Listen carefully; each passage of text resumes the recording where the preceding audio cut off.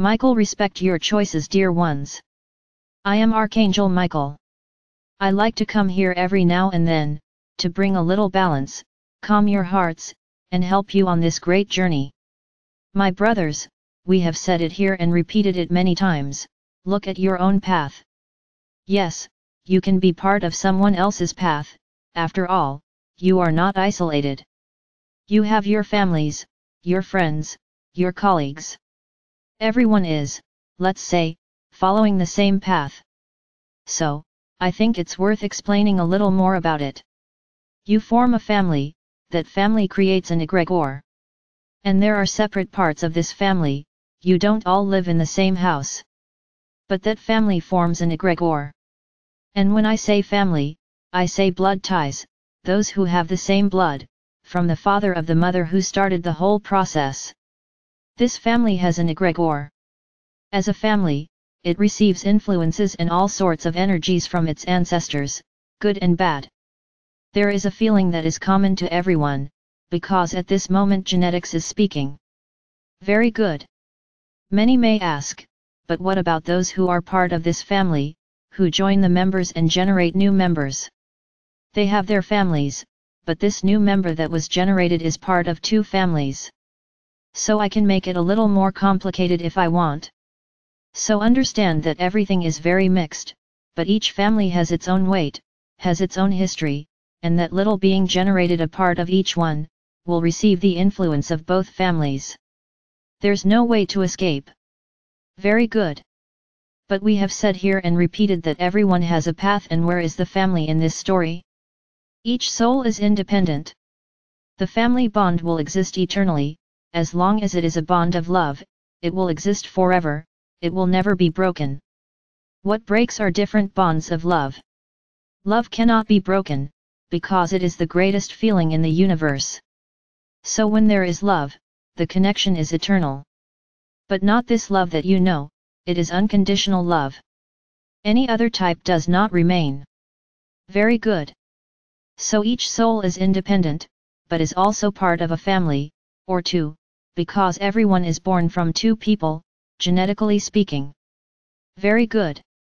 How do you separate your own path from your family's path? The path of each soul is defined before incarnation, and all the influences of the two families are brought to that soul, which is why it becomes part of both families. But she has her own walk. She may or may not allow herself to be involved in family traits, it is a decision of the soul. But I say it again, each soul is independent.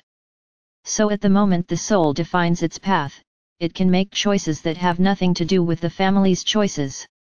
And everything is fine, because she is independent. She doesn't need to follow in her family's footsteps. And that's where the biggest problem is, because many don't understand that they need to follow their own path. Many think that because they are family, they need to be trapped forever, not to love connections, to any other type of connection. And this way, you keep your journey close to that of your family. Forget about your own evolution, because as each soul is an independent soul, the family can influence in a positive or negative way, but in both ways, it can take that soul out of its path. So when we say, look at your own path, you usually understand this as not looking at the path of a stranger, as not looking at the path of someone who is suffering on the other side of the world, who you don't know. So this is easy for you, just turn your back and ignore it and have no problem. But what to do with the family? What to do with those who walk side by side with you every day? This is where the story gets complicated. Looking at your own path means not letting yourself get involved, not letting yourself be manipulated, not letting yourself do what they want you to do.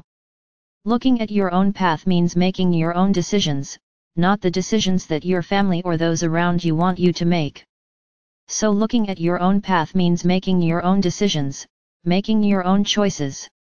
So often these choices, um, there's a problem there, these choices don't have those people who are at your side, together with you, you make a choice in which you separate yourself. No matter who, you part ways. Is this wrong? Of course. You are following your path. You just need to be careful not to hurt, not to hurt. You need to have the wisdom to show each person that you are following your path, it's not hurting anyone. You are just asserting what you believe in, what you want, what your journey has determined. And you will remain free, even with those at your side. They are right next to you, but at no point can you let them influence your journey. Don't stop doing anything for anyone. This is a sacrifice you make and then regret a lot. No one can stop your journey because of someone. If you want to follow someone, follow together, each on your side, each on your own path, respecting each other's path. Wonder. It will be an extremely beneficial relationship for both, because each one follows what their heart tells them. But always being careful not to hurt the other, not to make the other suffer. Always talking, always putting his own point of view. Not imposing anything, not allowing yourself to be imposed. So my brothers, don't just look at those you don't know, like those you can turn your back on and do nothing about. You need to know how to deal with those you have at your side, because they are family, the family you chose, the family you created. So know how to follow your path as an independent soul. You may ask me, but I can never give in. No, you can't.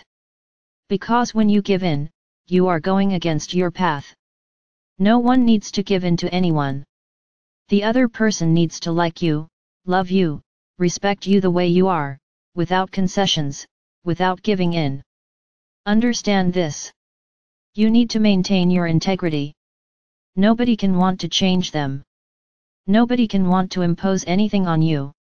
So this is looking at one's own path. You can even take a look at the other person's path, because they are there, next to you, not like you don't look, but respect the other person's path. Didn't you like it? I'm sorry, you'll have to live with this, because it's his decision, it's the other person's, not yours. But if that bothers you too much, then the time has come for you to think about whether it's worth staying together. That's how it is, my brothers. Simple as flowing water. There's no going back. The decision always has to be up to each person. Can you make decisions together? They can, as long as they both agree, one does not give in to please the other. Everything is wrong there, it started wrong.